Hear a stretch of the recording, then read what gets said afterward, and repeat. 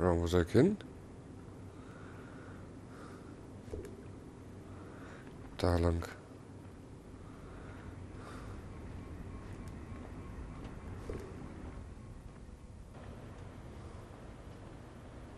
Nee, hier komme ich nicht hin. Da ist grün. Was haben wir denn hier Schönes? Nichts.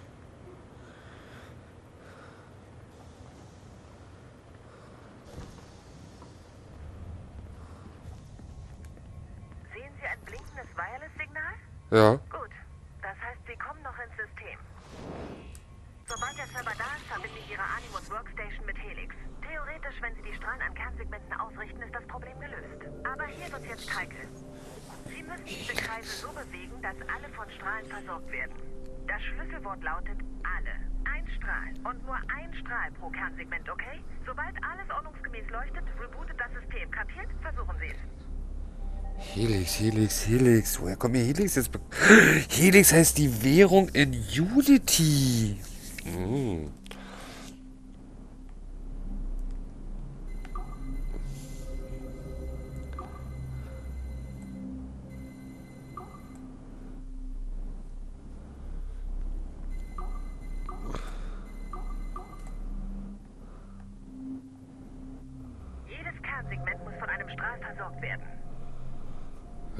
Wie mache ich das jetzt?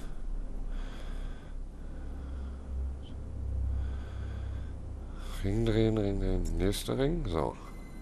Gut gemacht. Dieser Kern war nicht komplex. Aber das Rebooten der modernen Hardware im restlichen Gebäude wird nicht leicht. Okay, also wird's schwerer.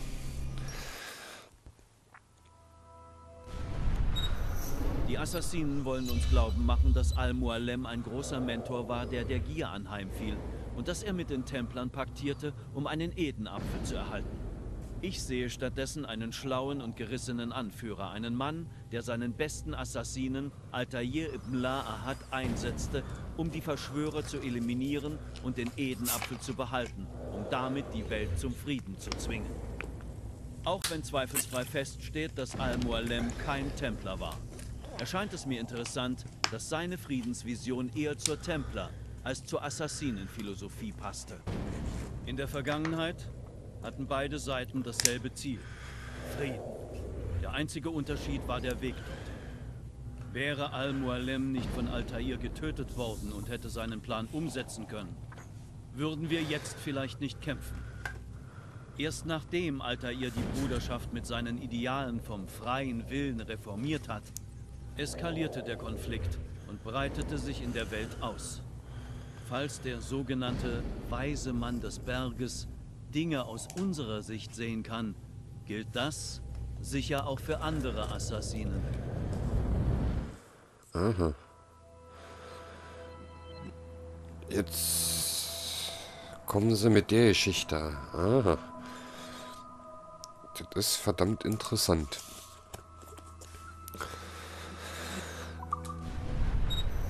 Die Assassinen wollen So. Hm, okay, nun, ich weiß nicht, ob Sie das sehen sollen. Also, ähm, Sie sollten zurück zu Ihrem Animus. Mach ich. Aber hier ist noch ein Bildschirm. könnten Sie auch die Rechner der Kollegen wiederherstellen, wenn Sie, nun, behilflich sein wollen. Und Sie Ja. könnten noch ein paar digitale Goodies finden, wenn Sie, nun, wenn Ihnen danach ist. Ja, auf jeden Fall ist mir danach. Doofe Frage.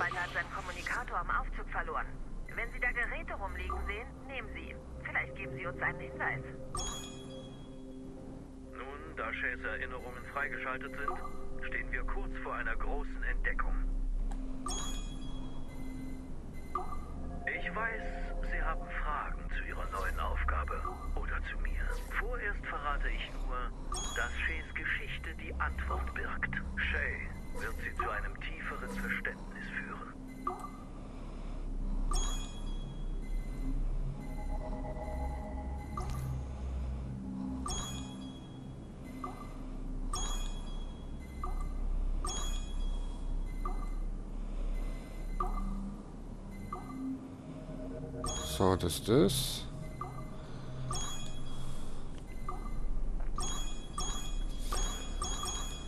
Warte mal. nochmal rennen. Oh, das ist ja jetzt hier ein bisschen tricky.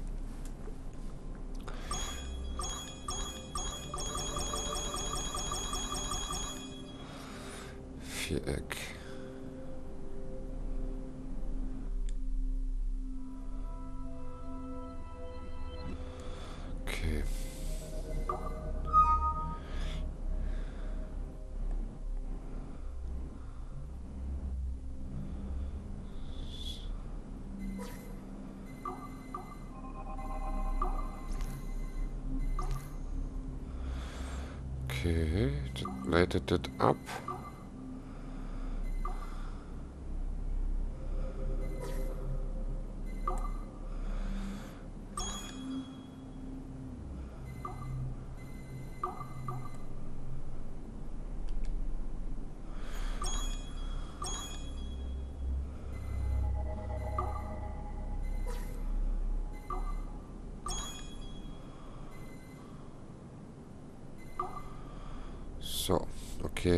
Das. Äh, das will ich so haben.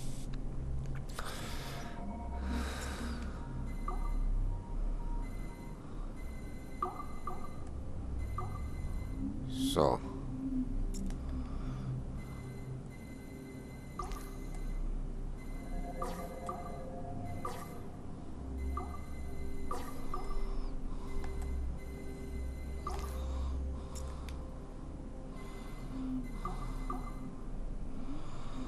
So, dann machen wir das so.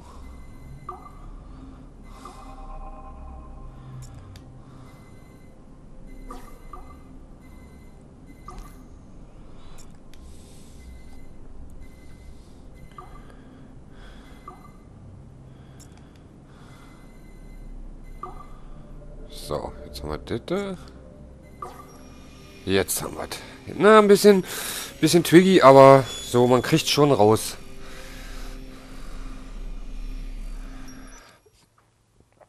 Es wird noch schwerer, ey. der großen Reinigung von 2000 wurde William Miles de facto Anführer der Assassinen.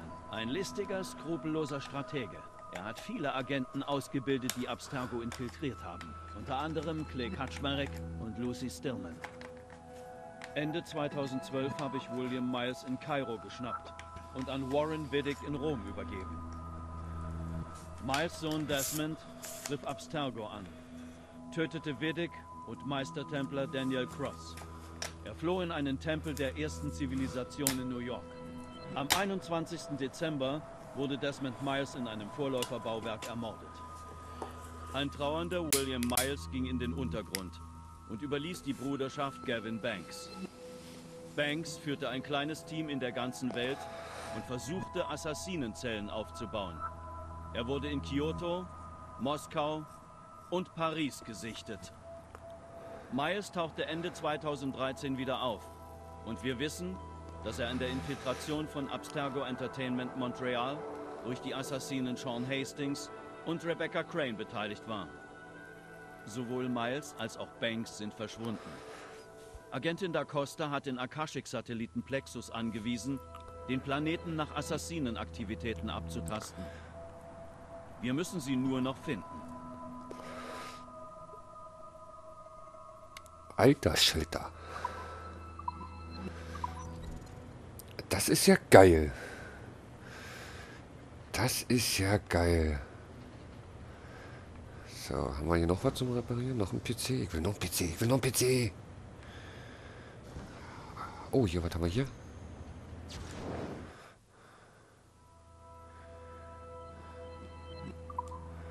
Dokumente sind mir egal. Ich an Ihrer Stelle würde nach pikanten Details suchen. Aber ich bin eine schreckliche Person. Hier komme ich überall noch nicht hin.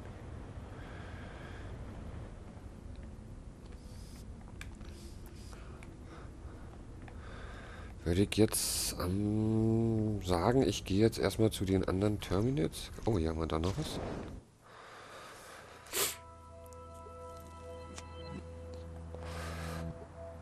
Oh, nee. Zum Lesen bin ich jetzt zu faul. Ich will hier lieber PCs hacken. Ich will mehr Hintergrundinfos. Ich will Videos, Ton, Dokumenten. Ich will alles wissen.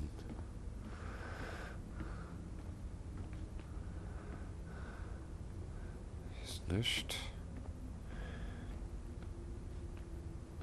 Handschuhe. Da die Bar will ich. Vielleicht liegt da noch was. Ne, hier liegt nichts, oder? Ne, hier liegt nichts.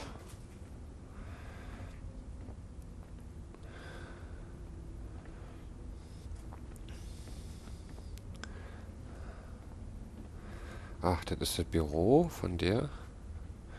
Diesmal ist ein Typ drin. Wer bist du denn? Security, okay. Ich gehe erstmal hinten lang. Ich kenne das alles noch aus Black Flag. bedeutet? Nö.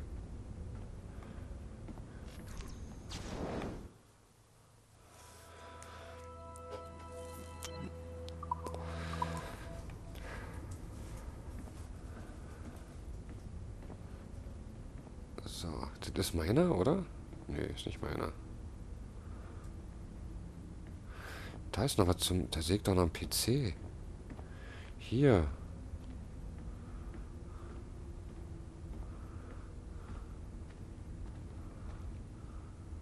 Ah, hier komme ich rein. Ha!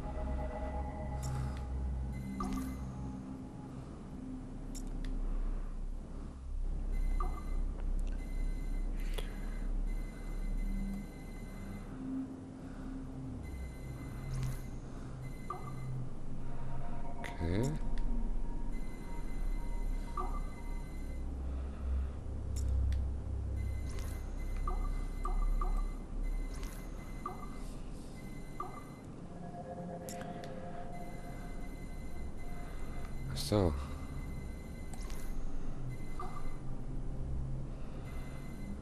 Hier keine Angriffsfläche, okay. Shit. Okay, okay, okay.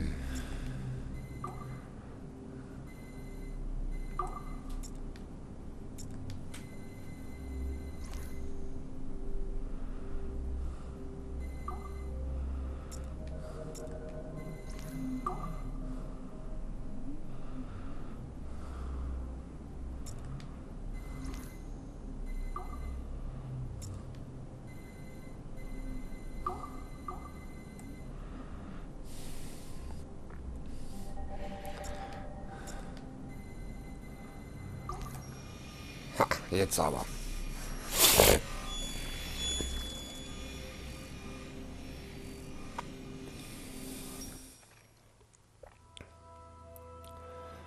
Hi, Boss.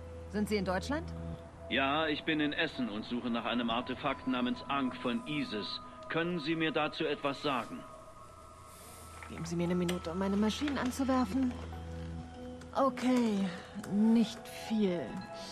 Es gibt eine obskure Datei vom Datenmüllscanner, der es erwähnt. Vermutlich im 14. Jahrhundert bekämpfte in Deutschland ein Assassine namens Lukas Zurbruck einen Templerableger namens die Brüder des Kreuzes. Wie originell. Das ist die Datei, die mich zu diesem öden Scheißhaufen geführt hat. Sonst noch was? Etwas außerhalb der offiziellen Abstergo-Aufzeichnungen? Keiner hat das Ding je gesehen. Es gibt jede Menge Legenden über seine Geschichte. Aus dem römischen Gallien, dem mittelalterlichen Ägypten und selbst von einer Zelle heutiger Assassinen. Oh, und offenbar erweckt es die Toten. Gibt es Beweise, die das stützen? Keine. Wissen Sie, was ich glaube? Ich glaube, das ist Bullshit, den die Assassinen verbreiten, damit Leute wie wir wertvolle Zeit damit verlieren. Das riecht nach Falle. Zugegeben. Achten Sie auf neue Informationen in Sachen Ankh. Auch wenn sie nicht zu einem Artefakt führen, können wir die Daten vielleicht zu einem Assassinen zurückverfolgen. Alles klar, Boss. Wohin geht es jetzt? Kuba, ich werde das Observatorium ausgraben.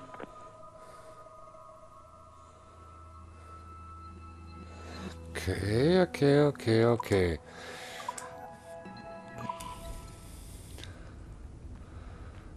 Kommen wir da der Sache schon näher. Hier ist noch ein PC.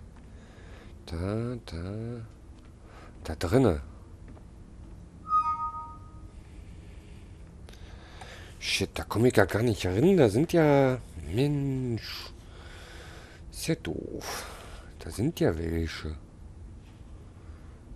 Hm.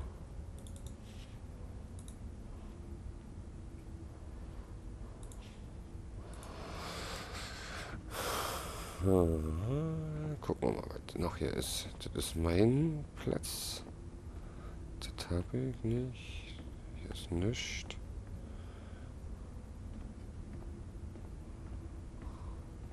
Abgeschlossen. Oh, hier ist noch einer.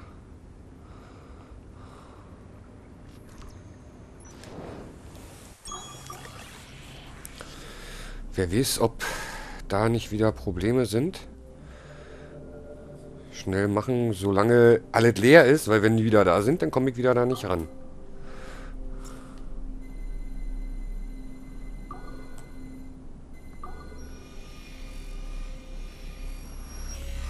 Oh, das ging ja schnell.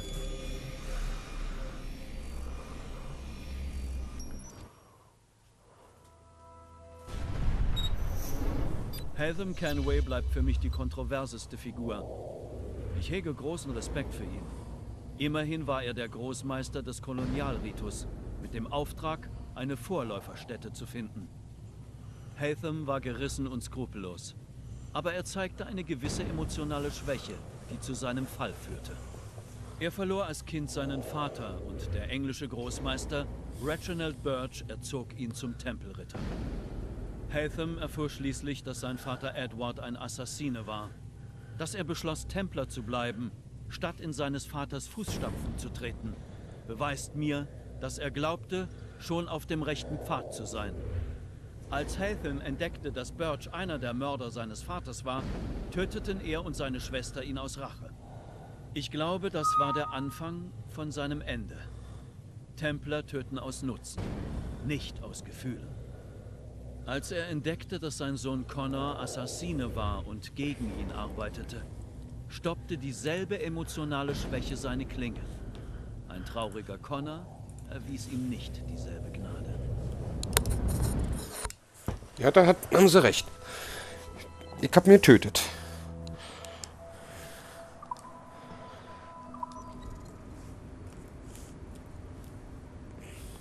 So. Hier ist noch was? Hier ist noch ein PC. Was? Wie komme ich denn da hin? Da, da, da. Ah, hier haben wir doch. Dann müssten wir eigentlich alles haben.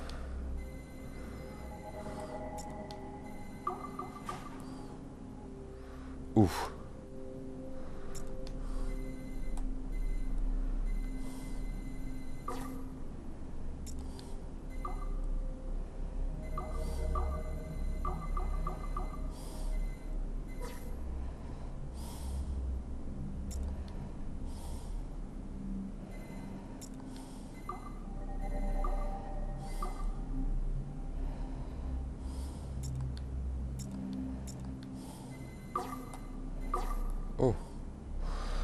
So, das noch die.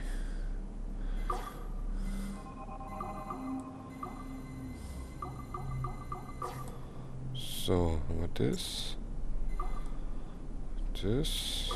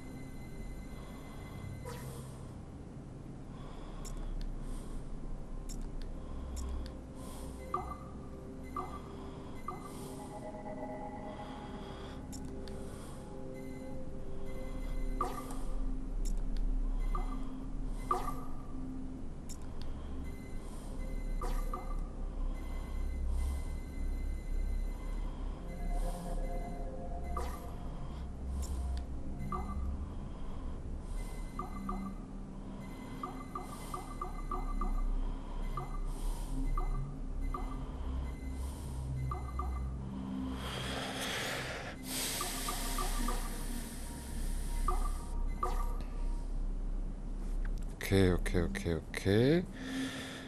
Und...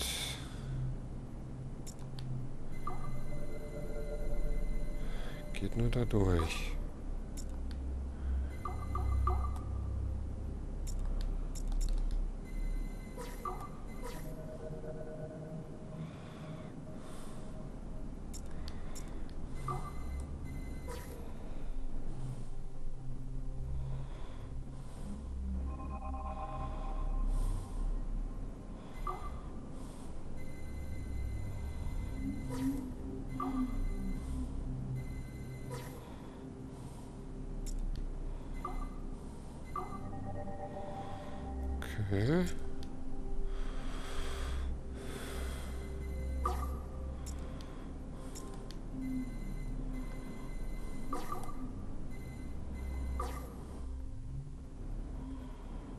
So.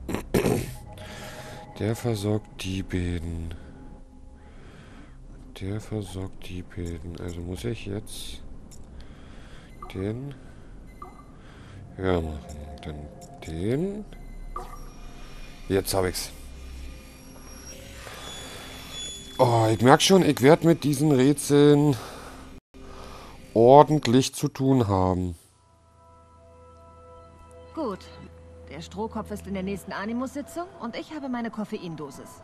Alles okay mit der Welt. Gut. Das ist nicht gerade Ihre Mission, stimmt's, Boss? Jede Mission ist auf ihre Art wichtig. Dennoch, ich wette, Sie wären lieber mit Ihrem Team da draußen, um Sean Hastings zu jagen. Sie denn nicht? Na klar, ich will einen Logenplatz für die Show. Irgendwas von Sorkin? Er soll mich updaten in 43 Minuten. Gut. Darf ich Sie was fragen? Aber ja, Wie ist es in einem Animus? ich habe das Anime-Trainingsprogramm durchlaufen. Es war ähnlich wie die Übung bei den Uti-Jägern. Sie haben nie einen normalen Animus benutzt, um Ihre eigene Geschichte zu erleben?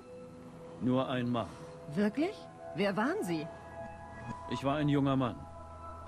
Beim Wikingerüberfall auf Lindisfarne. 793, Nordostküste Englands. Sorry, Geschichtsnerd. Und, wie war's? Es war Sommer. Gutes Segelwetter. Das Kloster war ein Zentrum religiöser Studien. Wir sind dort eingefallen wie eine Flutwelle. Und? Und? Wir plünderten und brandschatzten. Sie hielten uns für Dämonen. Die Details der Erinnerungen waren so lebhaft. Ich verfiel in einen Blutrausch. Ich besiegte einen Sachsen, einen großen Krieger. Ich wollte ihn nicht töten und lud ihn in unseren Clan ein. Oh, nordische Adoptionsrituale. Die Chance, mit den Wikingern die Welt zu umsegeln? Ja, eine Chance, die Welt zu sehen, wie sie wirklich ist. Was war dann? Er weinte. Dann schrie er, dass Gott sein Volk verlassen habe und dass nichts als Chaos bleibe. Er tat mir so leid. Ich tötete ihn, ohne nachzudenken. Wenn wir hier fertig sind, müssen wir den Strohkopf auch töten? Wir werden sehen.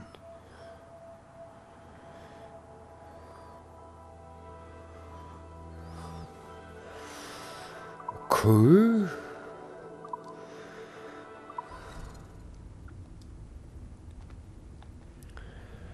Jetzt will ich aber wirklich mal zu meiner Station zurückgehen.